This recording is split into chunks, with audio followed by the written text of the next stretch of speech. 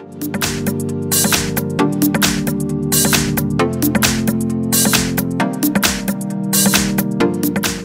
I have Samsung Galaxy S10 Plus and let me show you how to take screenshot on the following device. So at the very beginning let's open the screen that you would like to capture, in my case it could be simply a list of settings. Let's assume that I would like to save this screen, so all I need to do is use this combination of keys, power key and volume down. Let's hold down together those two keys, power key and volume down simultaneously. And as you can see and hear the device just took a screenshot. So let me show you again, let's hold down together power key and volume down simultaneously.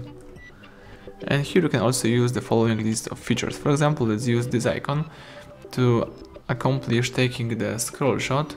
Now you can perform the long screenshot, you can save the whole list of settings on one picture as you can see right here.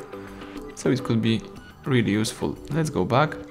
Let me show you the second way of taking screenshots. So all you need to do is use the swipe by using your palm. So let me do it. Let's just swipe and just take a screenshot. Let me show you again. Let's swipe and you just take a screenshot.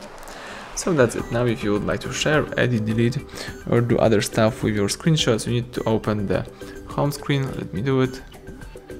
Let's choose the gallery and here let's use the pictures or you can choose albums to choose the screenshot folder. Now you can share, edit, delete or do whatever you want with the following pictures. So that's it, everything went well, thank you for watching, please subscribe our channel, leave thumbs up under the video.